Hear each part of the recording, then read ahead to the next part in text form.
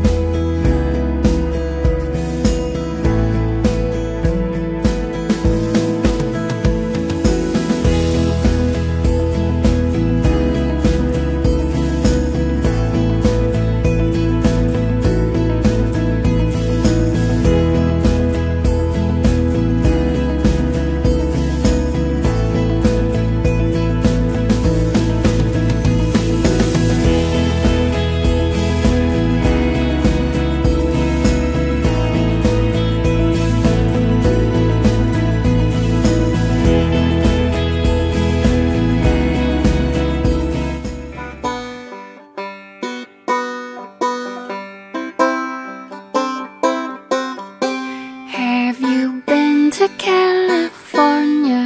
Seen the sights and people there? Walked the streets of sleepy sea towns, tasted salty ocean air.